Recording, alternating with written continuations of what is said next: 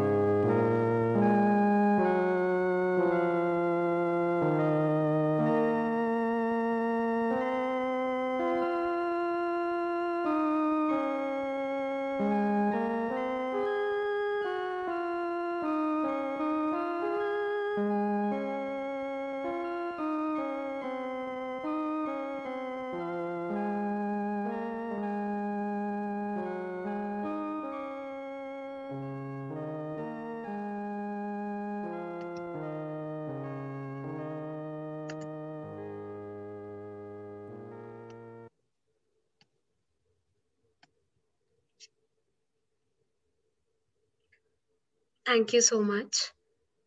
A very warm welcome to everybody who has joined us today. The topic that we'll be exploring today is a very, very special and a very, very beautiful topic, which is about connecting with nature through flowers. Now, a lot of us have fallen in love with flowers time and again. A lot of us are in love with nature. Today, we will go a little deeper in experiencing and in sensing how flowers can talk to us or what they can talk to us. For this exploration, we have with us Maitreyee, who will be taking us forward in this journey. With that, I would like to invite Maitreyee. Over to you. Thank you for joining us. Uh, thank you, Falak. And uh, a warm good evening to everybody. Um, so I am happy to welcome you to my world of flowers. So let me give you a brief introduction of myself and the journey that we would be taking today and what is the background behind it.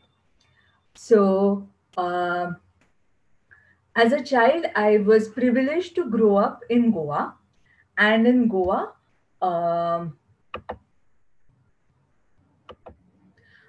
in Goa, uh, we had a small garden and we used to grow flowers. I have been coming to Sri Aurobindo Ashram and Sri Aurobindo Society since childhood. And uh, I was privileged to work with Sushanto Debnath, one of Sri Aurobindo Society's photographers and an artist, excellence, whose some of the photographs have been uh, used in making this PPT. So at age of 18, Sushantoda introduced me to a wonderful person whom I call a flower himself, is my teacher, Richard Pearson. Richard came to the ashram at age of 11 and never went back. And Richard's major role has been working with the mother on spiritual significances of flowers.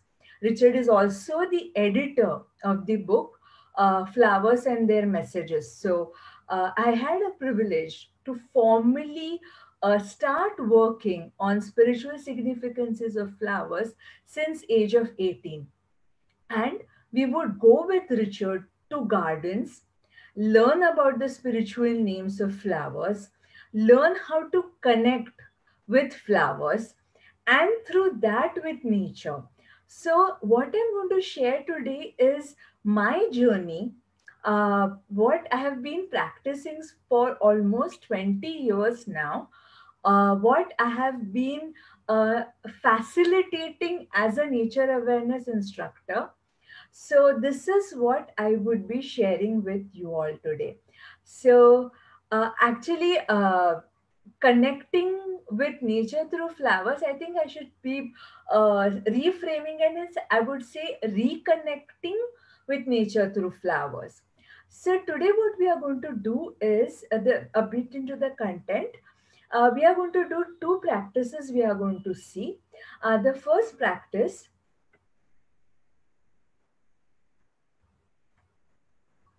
is the sensorial exploration of flowers.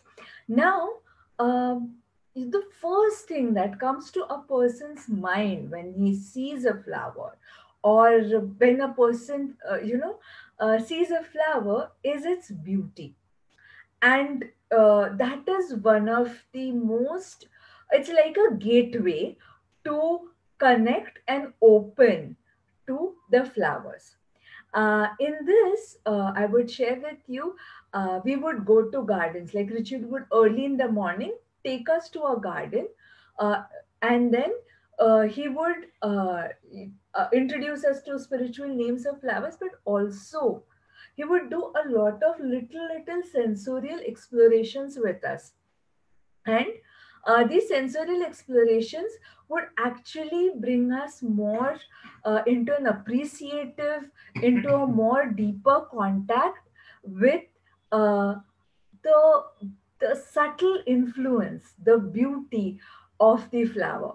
So today I'm just going to share with you certain how can we do a sensorial exploration of flowers and our key word for that would be beauty. Okay, so uh, what is the first thing that strikes us when we look at a flower? It is the beauty of its form. Every time when we look at a flower, sometimes whenever I am looking at a flower, I'm like, is there a form of a flower which you can call ugly? I haven't yet met a flower whom I can call ugly flower. Even the biggest flower that grows in Malaysia, it has something about its form that is so beautiful.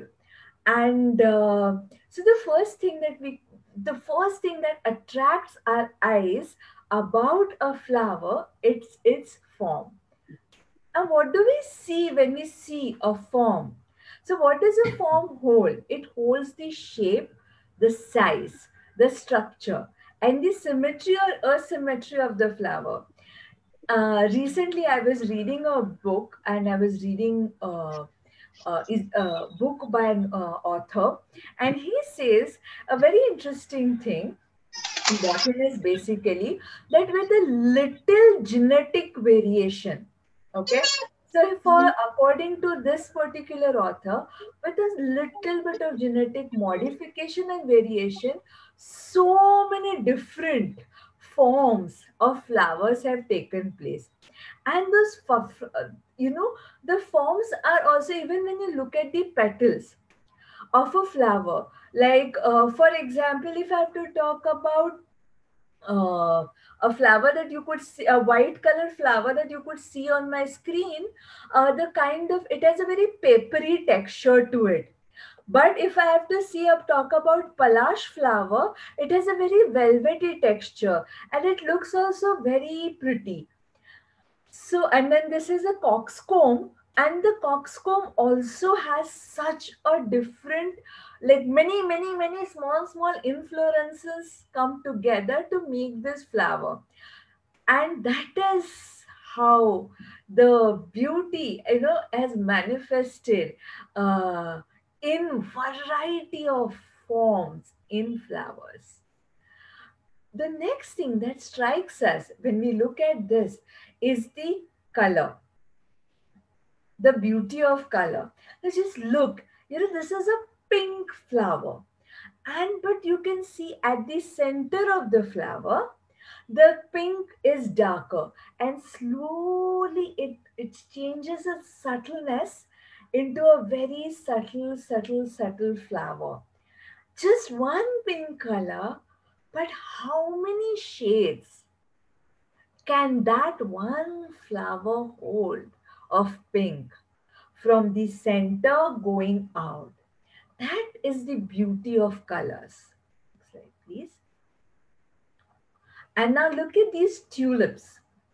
You know, it's as though uh, the nature first created varieties of tulips, like there are a couple of varieties of tulips, and then man just decided to experiment and play. And then you had this literally play of colors that you can see. And, I've just taken one example, but if we look at so many different flowers, you can see the colors are sometimes very subtle, sometimes very bright. They're like wide and rich and you know that is how uh, there is like a play of color that uh, nature is playing with us through flowers now before we move ahead we uh, would be doing a small exercise as though like a small sensorial exploration of with only two aspects. Because as we are on an online platform it would be difficult for us to engage our other senses. But what we can engage is our sight. And with the sight what we can see uh, and how to sensorily explore a flower is what we would be looking at so this is a small observation activity uh, that we would be doing. I will just give you a brief, brief uh, guideline of how this uh, observation activity works. The first thing you have to, uh, the first thing that is very important, which I have realized time and again, is when my mind is quiet. I can experience, I can explore a flower much better. And second thing that uh, I have always kept in mind is this to disengage my memory. See, what happens is uh, the moment we see a flower, suppose we have seen that flower before, like a flower that is so common like a rose. Now, what happens with my memory is that I go back to my previous experience of the rose flower and then I miss out on the beauty of the form, of the color of this particular flower. And that is exactly where uh, I need to disengage. And uh, it is as though, like, uh, while reading Sri Aurobindo, I realized Sri Aurobindo talks about you have to as though uh, look at everything as you're looking at it for the first time. It is you are looking at it at the first time. And when we can look at like that, that is when we can truly experience it. Another thing that we need to keep in mind is when our mind is when when when I talk about quietening the mind, I'm not just talking about making my thoughts peaceful, but I'm also talking about staying away from thoughts. What happens is the moment we see a flower, we start thinking about symbolisms. We start thinking about metaphors. We start thinking about emotions, feelings. And when we do that, what happens is automatically the mind takes the prevalence and the sensorially experiencing the flower with senses goes back. And that is exactly where the physical form of the flower would be through its beauty of color and form will be lost if I only allow my emotions and thoughts to be prevalent. So, uh, what we would be doing is I would be presenting you a flower. Yeah, if if you want, you can observe the flower, its physical details of shape, size, structure, outer and inner symmetry, asymmetry, uh, and uh, its play of colors. Uh, if you wish to, you can send us a feedback. But just remember to quieten your mind, disengage your memory, stay away from thoughts and emotions, and just observe the beauty of its form and color. The next slide, please. So this is the flower uh, in front of us. I would be giving you a minute's time uh, to observe its physical details of form and color and you then you can just note uh, in the chat you can uh, type down your feedback. There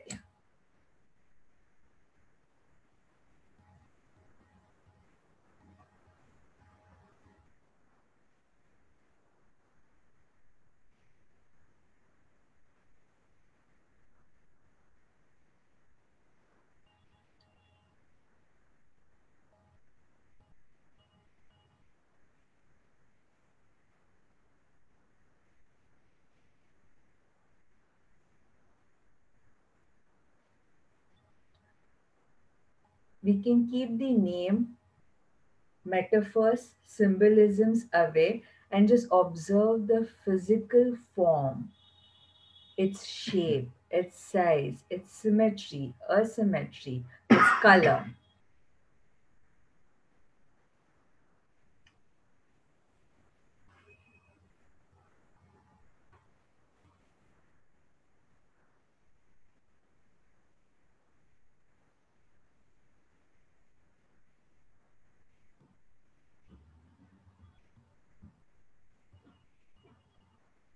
You would realize how difficult it is for mind to stay away from the name or uh, the symbolism and just observe it. Archana Khetanji says, beautiful blend of yellow, orange, brown, like a ball of sun. Again, the symbolism has come. Just check. The symbolism has come. Amrita Das says intriguing. Again, a thought has come. Before that, uh, everybody was talking about it's sunflower, it's sunflower. We all know it's sunflower. See how the mind works. What we need to observe is the structure, the shape, and the size, and the color, the pattern.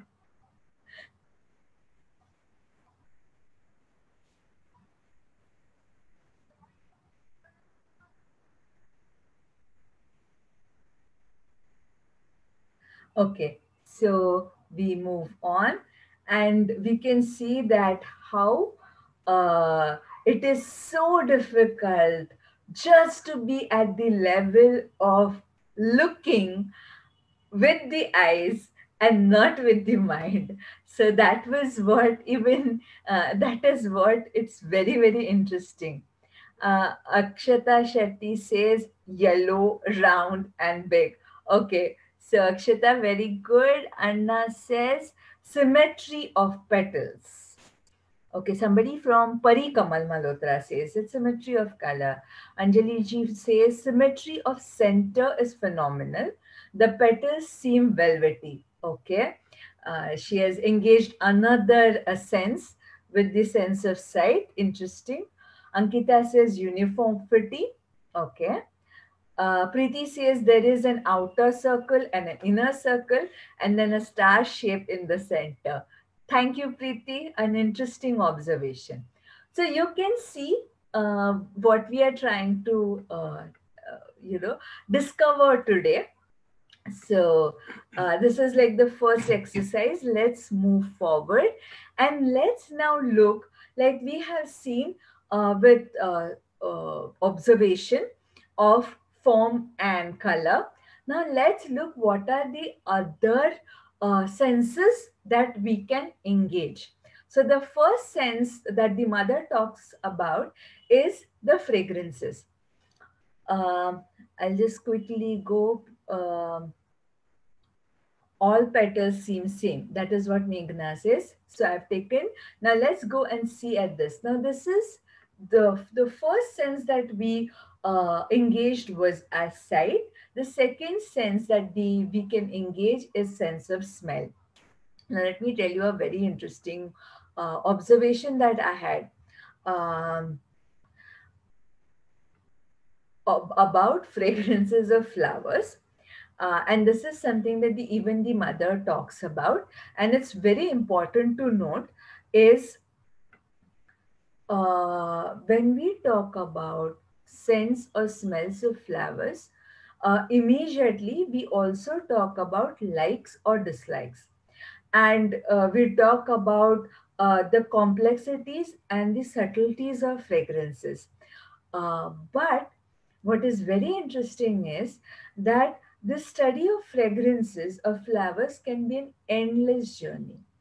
And uh, but it it also is very very complex a journey because uh, with season with location with uh, the place the fragrances change.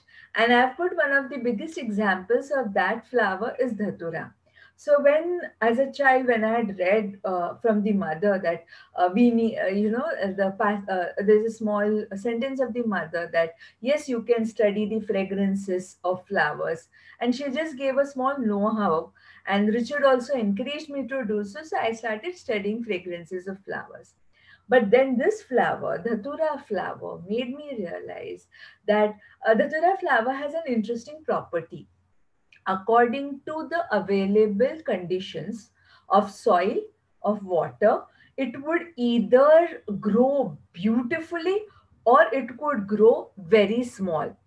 And that uh, impacts the fragrance of the Dhatura flower Again, the dhatura flower that you could smell when it is blossomed just in the evening and in the a little in the night and early in the morning when it uh, closes would be a completely different experience altogether. And then it made me realize after 15 16 years of studying fragrances and understanding its complexities and nitty gritties and stuff like that that would there be a more simpler, easier way to enjoy and explore the fragrance of a flower and through flower come closer to uh, the essence of the flower, the beauty of the flower. So, is there another way that I can explore, another way that I can see? And that is where uh, I realized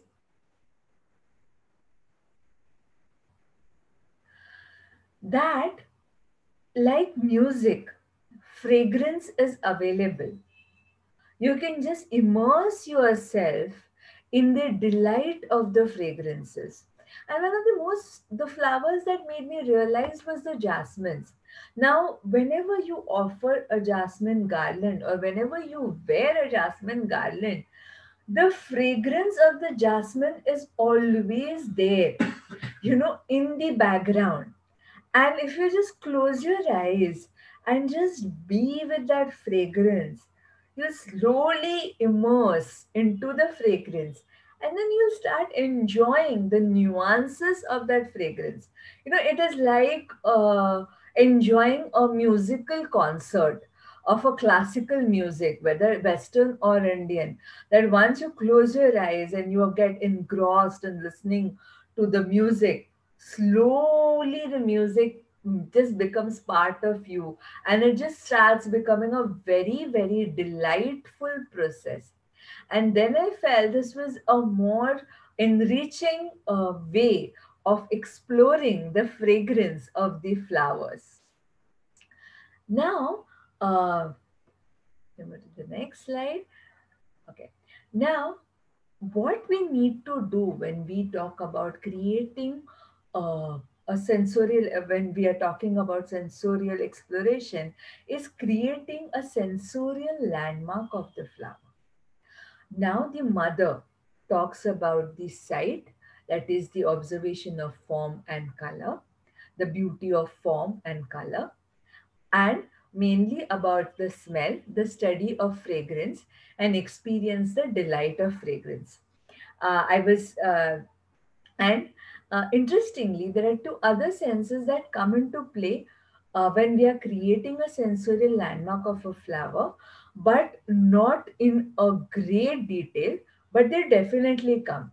With sight comes the touch.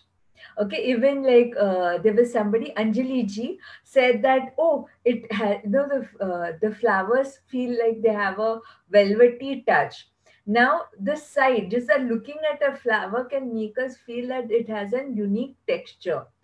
And uh, that is somewhere sight and touch go together. And smell and taste go, do, go together. And we very well know it because uh, our uh, taste of food is very much dependent on the smell. And whenever there's a good nectared flower, I think there is no harm in enjoying the uh, s- uh, taste of the flower too. मम्मा का phone चालू बेटा मम्मा को दे दो Uh, so basically, you create a sensorial landmark of the flower, and uh, this is how you could do so. And uh, with the sight, with the smell, with the touch, with the taste, and again, I would be coming back to an, another activity which I would love to call observe and connect. And this is something I have been practicing uh, since many years. Um, so basically, um, uh, I don't know whether Palak remembers it or not, but um, when we had gone to Nainital camp together, I still remember Palak actually came and just intriguingly looked at me when I was looking at a pot of bignonia. And I was like staring at it, like, Didi, what are you doing? I'm like, I'm looking at a flower. I don't know whether she remembers it or not. But this is what, how uh, I personally uh, work uh, and this is what I'm sharing with you. Uh, again, it's very important our mind is quiet. We go beyond uh, emotions and thoughts, we go beyond symbolisms and metaphors. Because the first thing that comes to us is symbols, metaphors, emotions, thoughts. So we put everything away, we disengage our memory. Then what do we do as a sensorial exploration? Is we observe the flower in its detail with our eyes, smell it with our nose, touch and feel the flower. And then, if it has a wonderful nectar, enjoy the taste of it. And then we take a second step. Now, this step is each individually different because we all are different people. We have different capacities, we have different ways. So, it's called connect. So, where you sense and feel the flower for me how i do it i can share it with you. I will just go and sit with the flower. If and i will keep observing the flower for as much as time as i feel. And then over the period of time i feel more and more connected with the flower. And that is how i do it. And that is why even there i have written even by simply gazing at Uh, you are on mute. Uh, so simply by gazing at a flower, you can connect with the flower. And I find this observe and connect a very, very beautiful way to connect to flowers. And from there to connect to uh, the nature. And uh, if you are interested, uh, let's go back and let's do another small activity as we did earlier. And let's try to observe the flower and connect with the flower. Let's see what happens. And if you are interested, you can uh, put the feedback in the chat. Again, observe with your eyes you can't smell it, but with your eyes, you can definitely feel the texture and try to connect with the flower.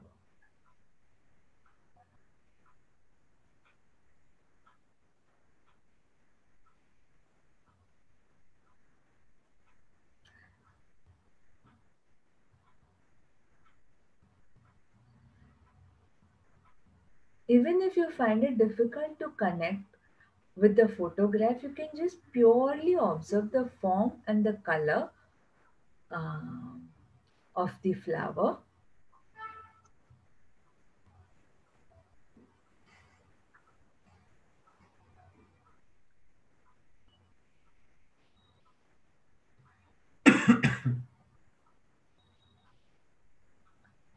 and if you have any feedback, you can definitely give us.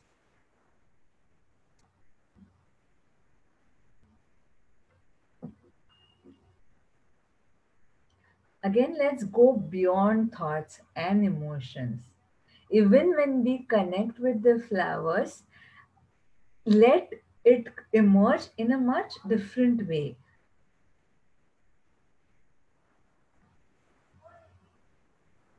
Akshata Shetty says pleasant color, smooth petals, calm and refreshing. Okay.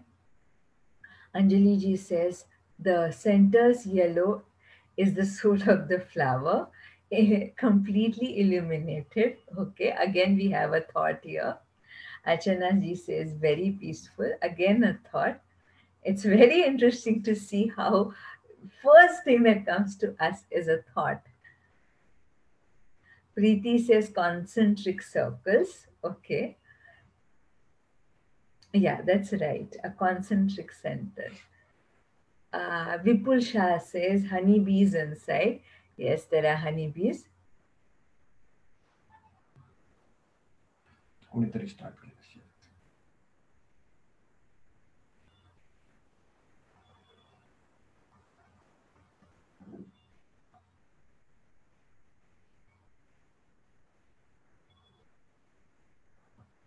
Uh, Gargi says hope or lights are far away but it's there to connect or reach. Again, a thought.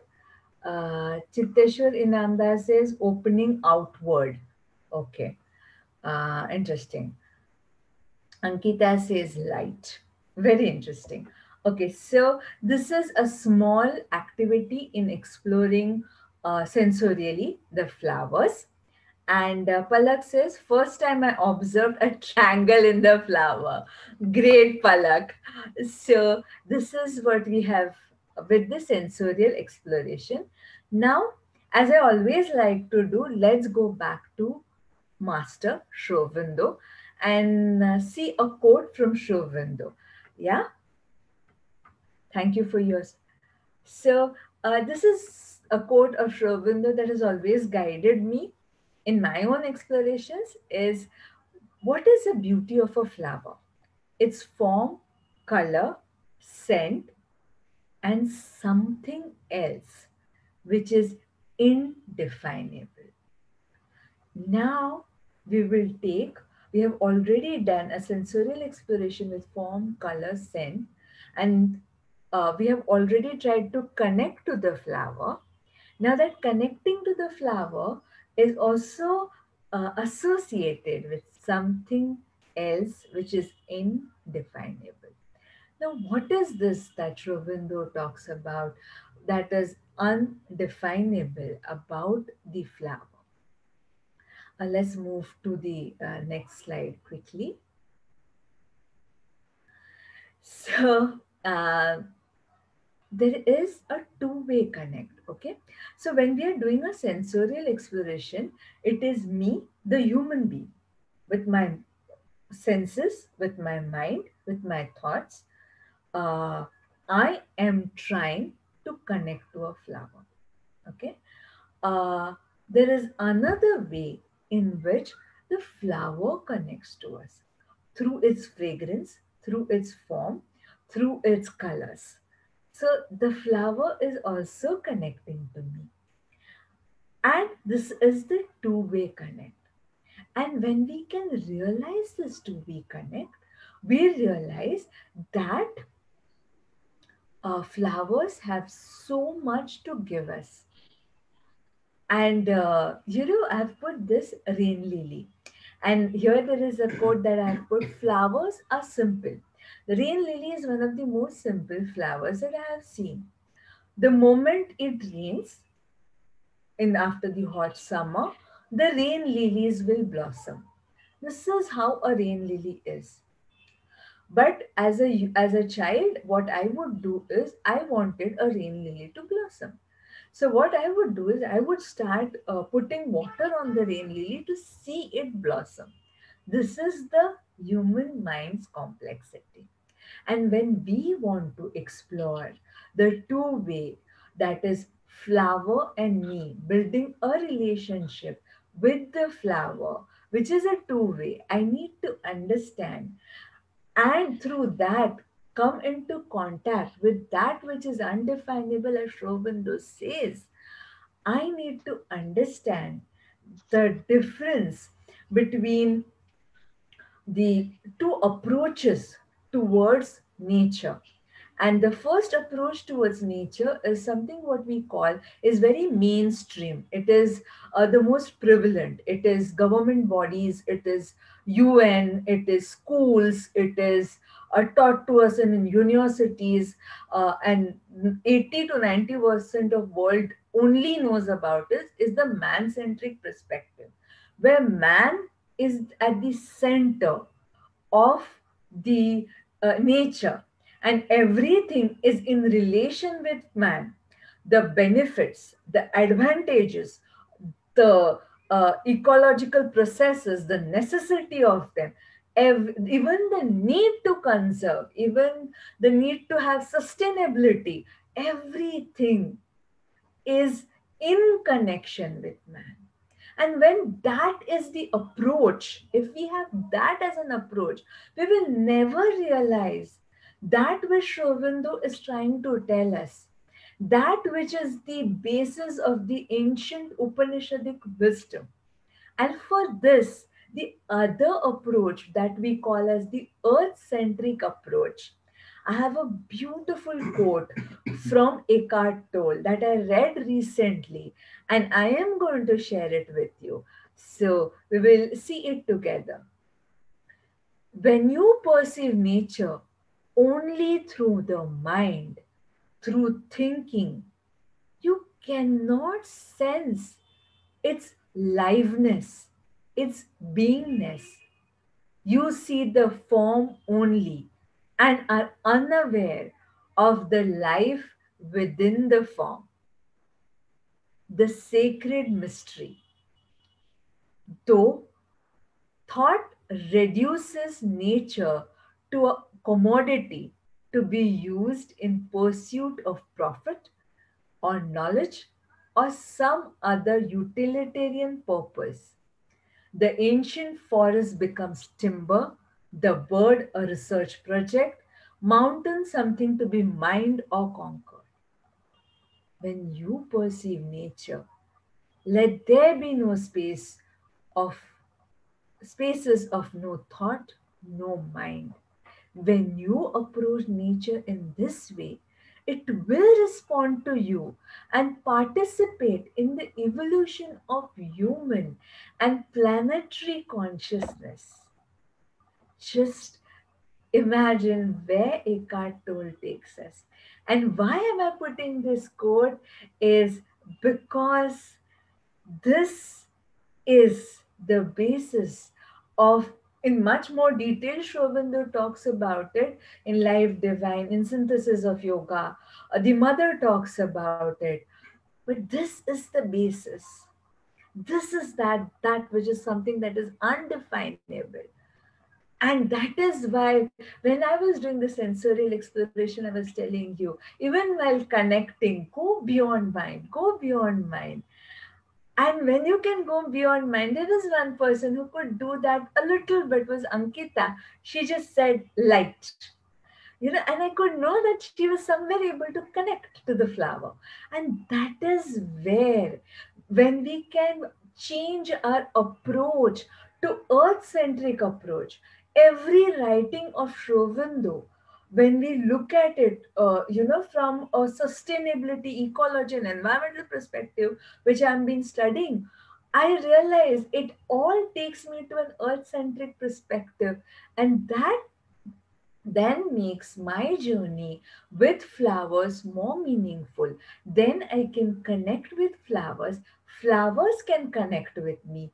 My learning of spiritual names becomes more meaningful and beautiful to me. And I can then practice a life that expands and encompasses everything in nature. And it allows me to recreate with nature because I am also nature. I am not separate from nature. Now, if I want to, as an individual experience this in my own way. How do I do that? And the next practice, what we call as a stillness practice, I'm going to share with you. Um, let's go to the next slide, please. Uh, okay, uh, so uh, like around year 2003 or 4 when i started reading Sri and i wanted to experience more of what Aurobindo is trying to tell me uh, i found uh, the first i found a nature meditation technique developed by joseph cornell um, and uh, uh, an environmentalist, a nature awareness instructor in 1970s called a stillness practice. So what it is, let's look at the first. First, relax the body. Do this by inhaling and, um, you know, just relaxing yourself completely.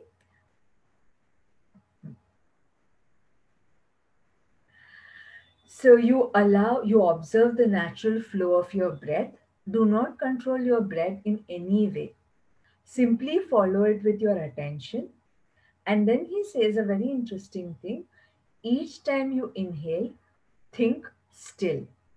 Each time you exhale, think ness. When you are inhaling, when you are naturally observing your breath, each time when you inhale, think still. Each time when you exhale, think ness. repeating still and ness with each complete breath helps focus the mind and prevents your attention from wandering from the present moment and being there in the present moment or if you are in a landscape or you, we are with a flower it helps you to immerse identify become closer quieten your mind make you calm and be in a two way connect. During the pause between inhalation and exhalation, stay in the present moment, calmly observing whatever is in front of you. If thoughts of past or future disturb your mind, just calmly, patiently bring your attention to whatever is before you and to repeat still and ness with your breathing. So first relax yourself. If you want, we can do this uh, for a minute and see uh, if, if it uh, is something that we feel aligned towards. So when just observe uh, the natural flow of your breath. Do not try to control your breath in simple. Just bring your attention towards your breath. Each time you inhale, think still. Each time you exhale, think ness. Repeat still and ness with each complete breath. And between the inhalation and exhalation, stay in the moment. If your eyes are closed, keep your eyes and if your eyes are open, you can keep it on something that is around. So we take uh, 30 seconds to 40 seconds to do this activity. Breathe in, still. Breathe out, ness. Breathe in, still. Breathe out, ness. Breathe in, still Breathe out, ness.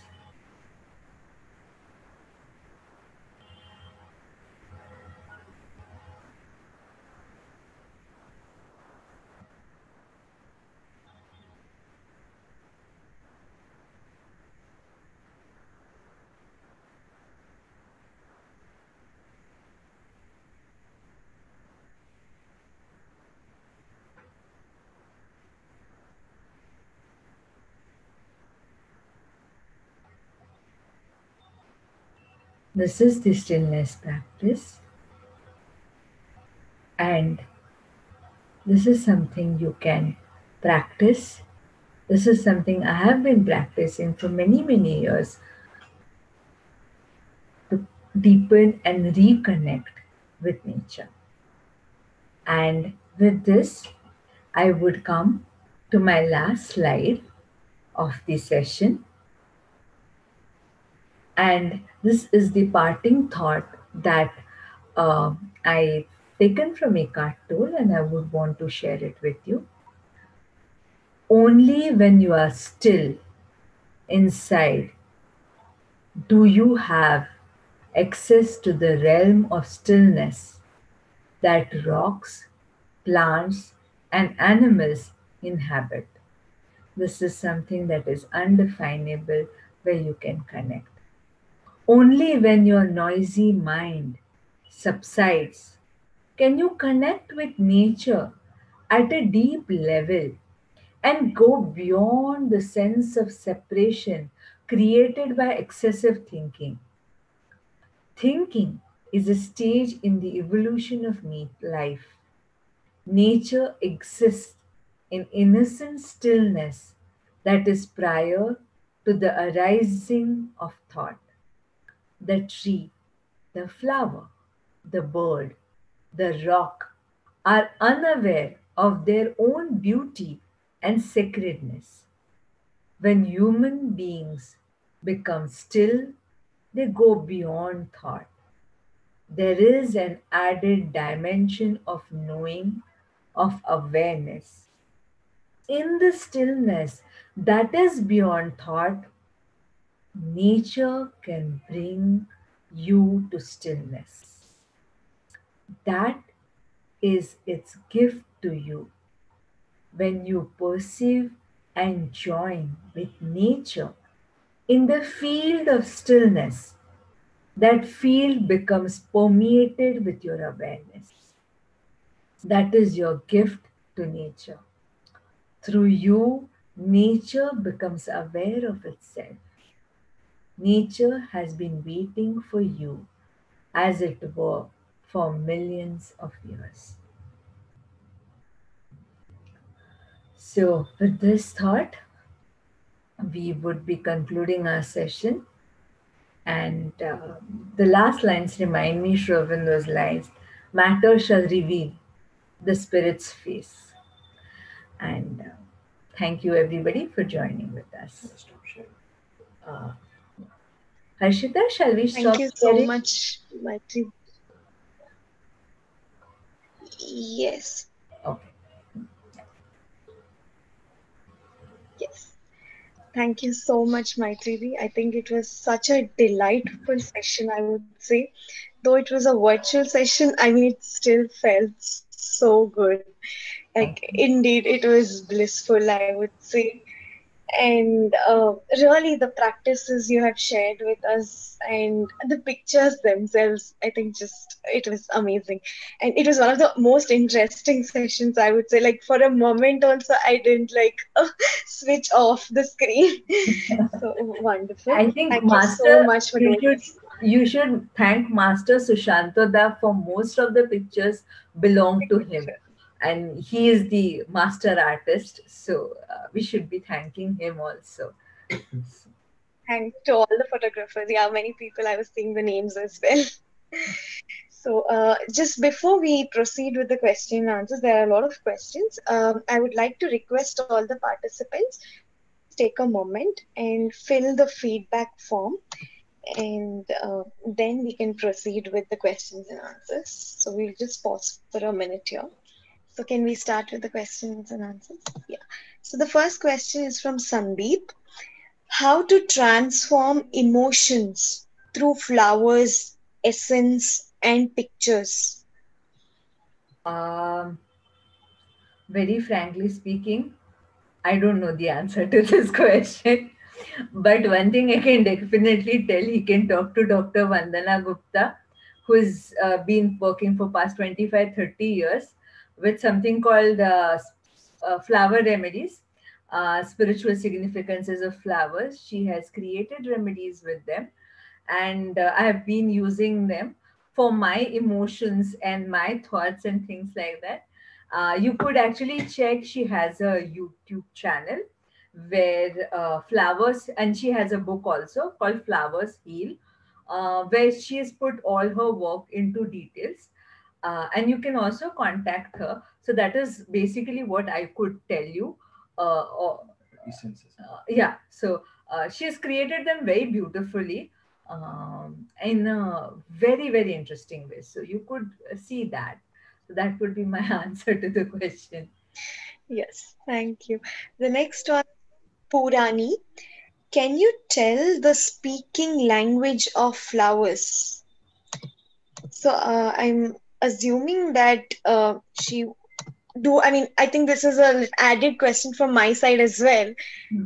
Flowers actually communicate with us, and uh, do they really have something to tell us or share with us? So maybe you can add something to that. What um, Harshita, basically it depends on each individual.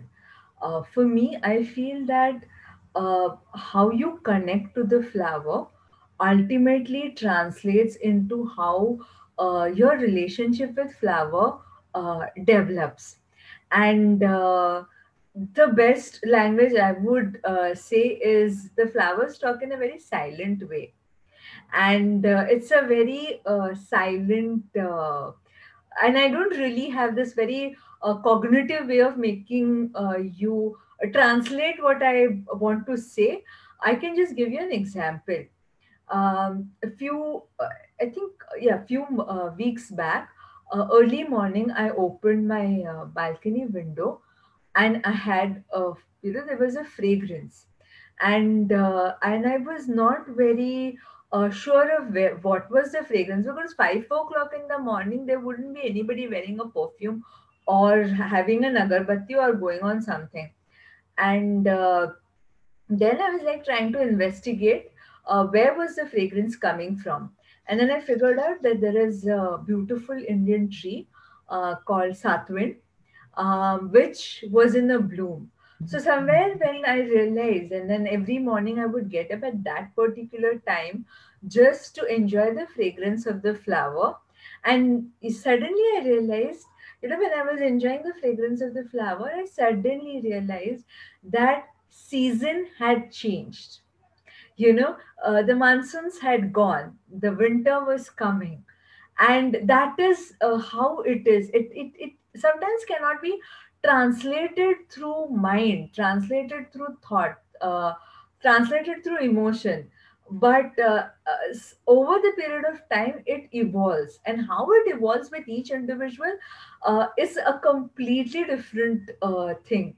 Like when Sushantoda takes photographs, like for example, uh, if I have to talk about Sushantoda, we would be going with him to the garden, and Sushantoda would have this camera, and he would take, and he didn't have a, like a big greatest or best cameras. But you know when i took that camera in my hand and tried to take photographs i realized that my photographs also came good how how did that happen how can mind how can mind uh, or how can uh, you know logic or rational can think about it but it did happen so uh, I think with each individual, how he is, how his psychological makeup is, his connection uh, will be different. Uh, will be uh, he will talk or his or her language with flowers. That is what I would say, and uh, the flowers will communicate in the similar way with that person.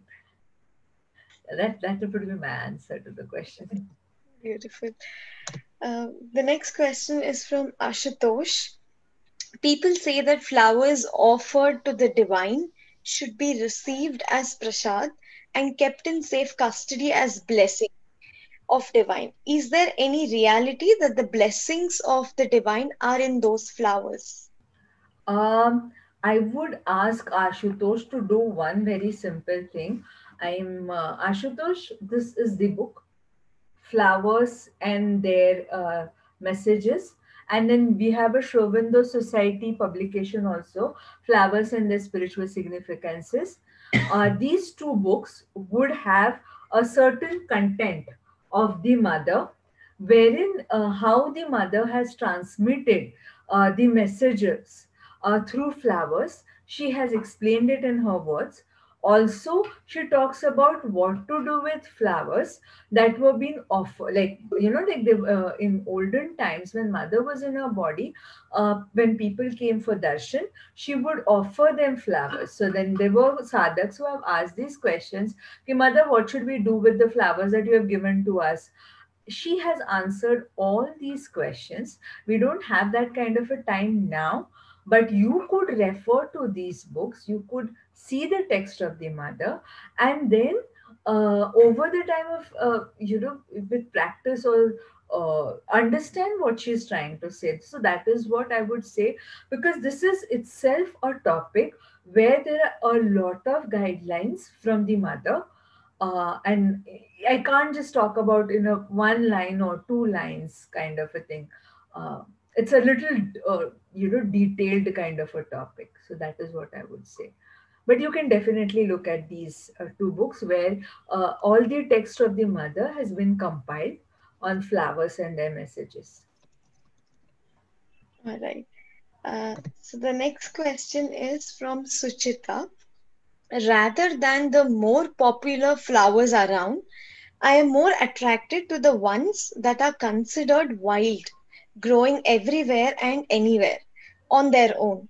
Does it signify or point towards something in me about my connection with nature? Uh, Suchita, I really don't know, but I can share with you something that Richard had once shared with us. Um, mother had gone to lake and uh, there there were these wild flowers blooming and mother said this where shall i put my foot i don't know because there are such beautiful flowers blooming. So uh, i hope you find your own answer and best wishes to you to do so. Thank you. So the next question um, what is the flower offered to mother at Bhavan? So I think, uh, yeah, can whoever has asked this question, I request you to kind of elaborate a little more so that the question is more clearer. You can please unmute and ask the question yourself.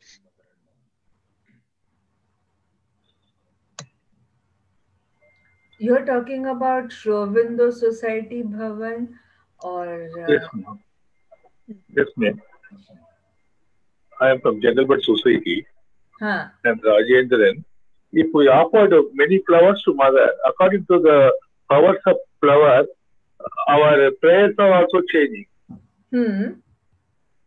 If any, according to flowers, our prayers are changing. Hmm. Okay uh, as much as I understand what you're trying to say is uh, how do our offerings of flowers um, uh, change or how, how they can become a part of our sadhana, right? That is what you are trying to say. Yes, yes. Okay. Um, I think uh, I don't know your name, sir. So uh, I think this is a very personal uh, uh contact between you and the mother and uh, it should be uh, not spoken much about on the public platform. Um, I would say that uh, I could only share an anecdote with you on this subject um, because this is a very private uh, topic and it shouldn't be uh, put on the public platform. But I'll share a small anecdote with you.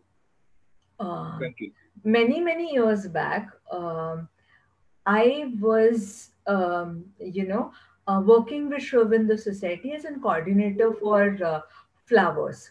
And uh, I had gone to Lalbagh. The first slide that you saw, the photograph was taken by me, and then I'd gone to Lalbagh. And uh, in Lalbagh, I was photographing. Lalbagh is in Bangalore, and it's a wonderful botanical garden there. And I was photographing a flower uh, and suddenly, while I was photographing these flowers, um, I came across a flower uh, which is one quality I don't think I have, uh, but it was such an experience for me to keep and i kept photographing and photographing and photographing that flower. And then all these years even after it uh, i'm i'm still thinking that uh, how could i actually photograph that particular flower? That particular flower's quality. So maybe that is when i thought that maybe the mother wants me to develop that particular quality or maybe i lack that quality and you know through photographing that quality maybe mother wants me to develop that quality. But that is what you know mind can think and mind can uh, uh, say. Uh, we can say this or that or that but you know we really don't know.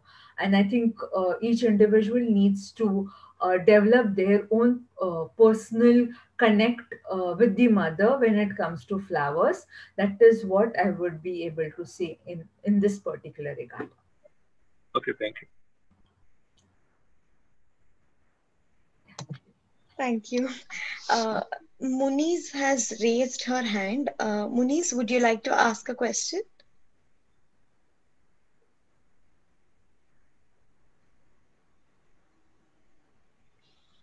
No, ma'am, no, ma'am. No, okay, okay, no problem.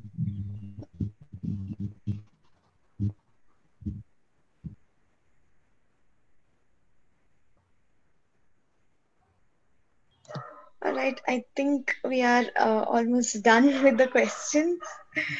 Um, so yeah, I think if we have time, uh, we can now share the PPT you were talking about for about, if it doesn't take so long, yeah we can share that. i leave it to you and palak you both Palak? can decide Yep, I think uh, before that, we have uh, one more question from Akshata. Mm. Uh, Akshata, would you like to unmute and ask your question? Uh, so the question is, how can we explain to student? Um, Akshata, if you're on the call, would you like to unmute and ask your question?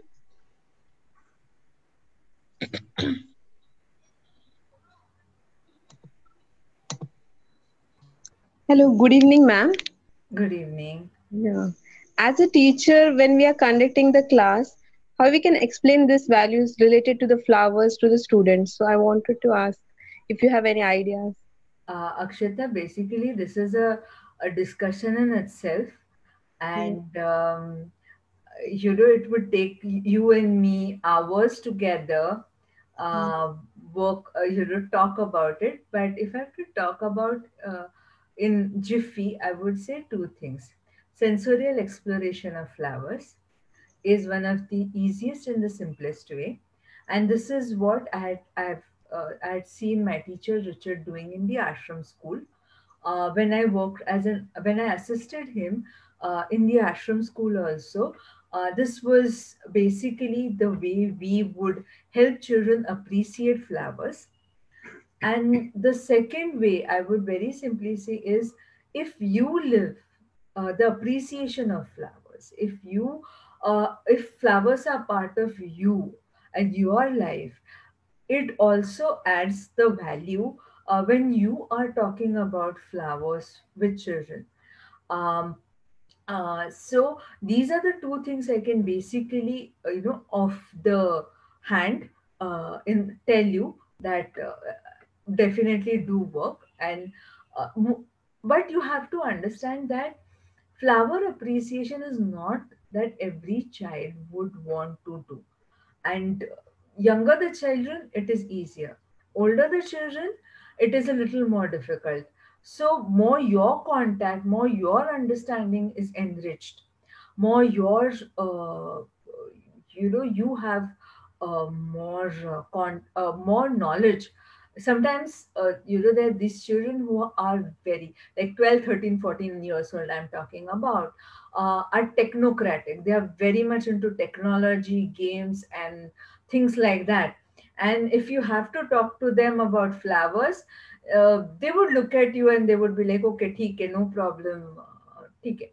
but when you if you want to talk to the older children you have to be knowledgeable enough to help them connect. And when I say knowledgeable, you need to be knowledgeable not only in the subtle understanding of flowers, but also in the botanical understanding of flowers.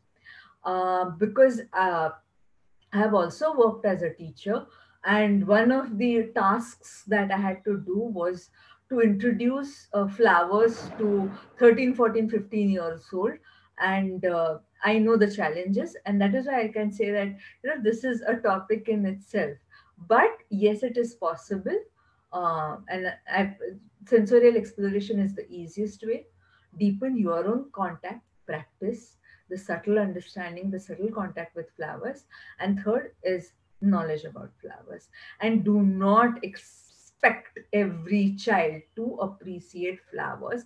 It does not happen it just does not happen that way. So remember this and then go ahead. So that is what I would Thank you. Thank you a lot, ma'am. Yeah. Yeah. Um, Deepa, would you like to ask a question? Yes, please. Yes. Uh, so, uh, I'm from Bangalore and I'm very fortunate. I stay close to the Bhavan Mm-hmm. and uh, many mornings I'm involved in the, the flower arranging. Mm-hmm. So, the gardener Siddhi will bring in flowers Mm-hmm. and we also have vases which we fill with flowers. Mm-hmm. And uh, one part of me loves the flowers on the plants and i feel sorry for them you know when they are Mhm. inside because they will have ants on them and i go and put the ants outside Mm-hmm. and then the flowers are there the first day they are fresh some of them have started drooping Mm-hmm. the next day again we trim the ends and we put them Mhm. back in the water Mm-hmm. after two or three days one or two have to be removed and fresh ones come in so Mhm. somehow i still haven't been able to be at peace with this offering of flowers even though i do it every day so you know the ethical and moral man in us the Uh. ethical and moral person in us would say why we need to cut flowers i was a few days like few months back i'm also doing a series uh, and then i had this similar question by a person and that day i told her you know i gave her a big uh, thing on online then at the night i was thinking that we have such an ethical and moral side to us. And uh, which uh, you know wants us to understand whether i should cut a flower or whether i shouldn't cut a flower. What should i do? Uh, these are the questions that definitely come. But then there is a spiritual side to us. A spiritual side of us when we start exploring that you know which flower wants to be offered. You know which flower does not want to be offered. Your consciousness your awareness when it expands when it starts connecting with flowers your way of uh, knowing what to do with flowers then changes. Uh, there is like the example that I gave you of the mother, where she said that I wouldn't step on the wildflowers. Richard gave us another example where mother was so happy with the performance that Richard and others had put that there was this beautiful creeper of harmony flowers, and mother just cut, plucked those flowers and then just gave all of them those flowers. So somewhere I feel that it is, you know, it is with my awareness, with my consciousness, that my uh, understanding of flowers changes. Um, so for that, I would give you a very interesting um, anecdote from uh, Ika, you know, Ikebana uh, is a Japanese uh, flower arrangement, which is a very spiritual practice. Mhm. Uh, the artist says this: the flower is the vegetal kingdom's offering to the divine. Uh, so, in their own words, he's saying that through that beauty, you know, when the cherry blossom, uh, the cherry uh, cherry blossom tree is a, a beautiful tree, uh, which is called also sakura in Japanese. It's like the entire cherry blossom gathers its energy to create those flowers.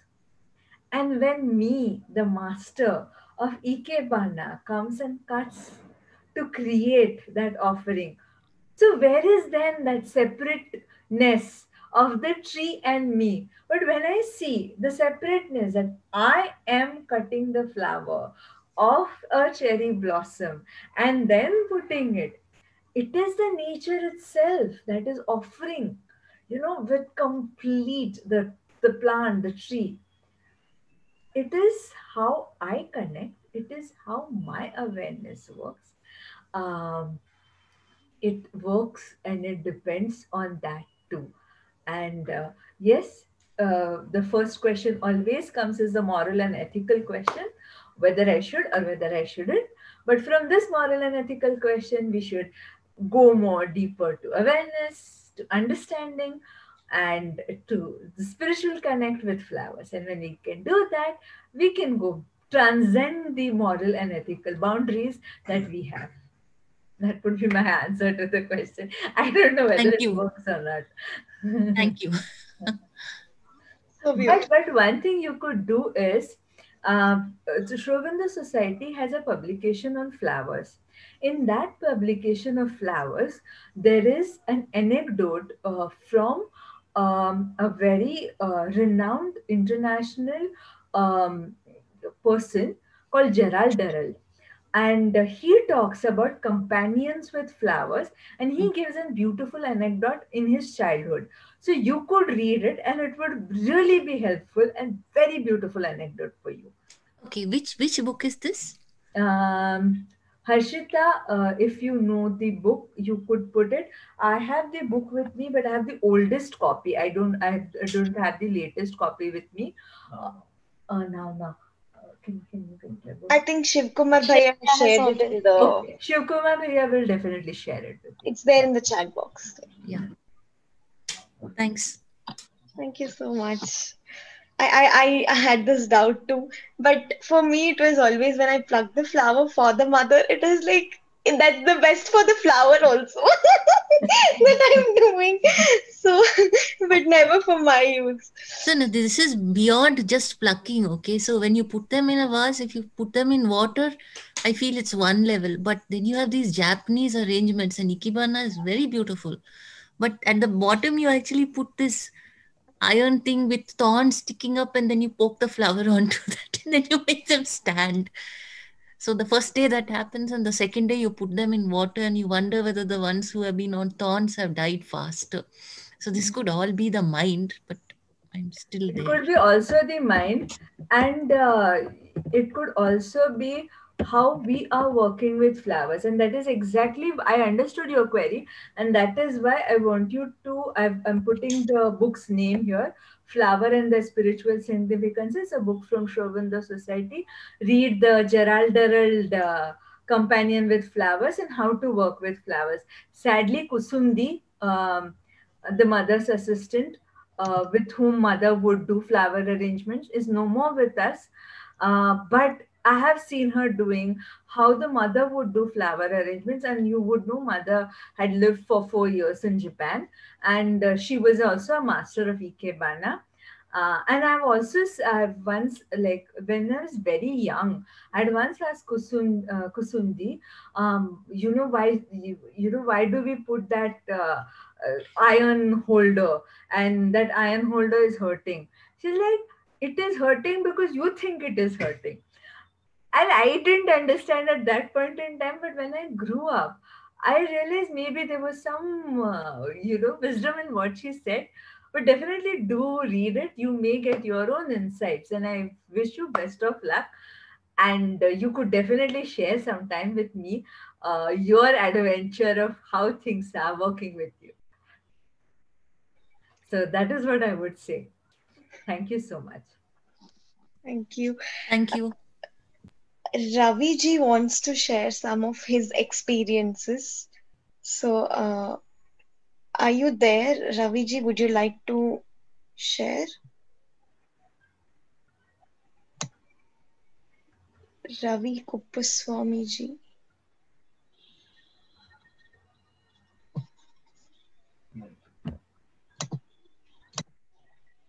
Okay, I think maybe he has left. Okay, um, Palak, are we doing? Are we sharing the PPT now? Yeah, yeah, I can. Oh.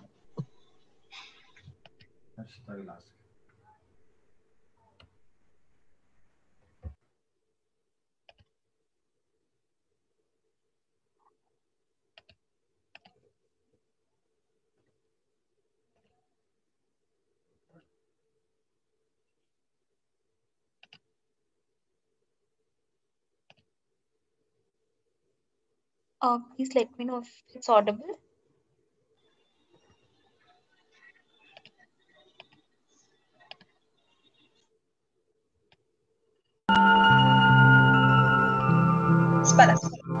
Okay.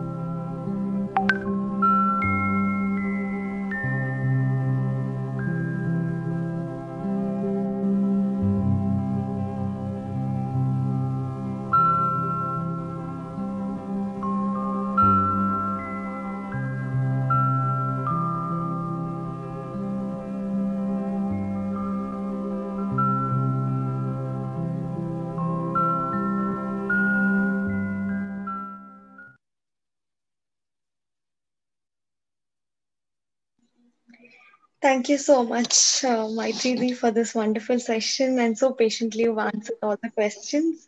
Thanks to all the participants for being there in this session with this in this journey with us. And uh, please, um, for the next session, which is going to be after a few weeks, we're going to take a small break in our sessions, regularity of the sessions. You can check our Facebook page, AuroYouth, for the upcoming sessions and other activities which we usually keep posting. And thanks everybody for being here and have a great night. Good night. Thank you. Thank you so much. Thank you.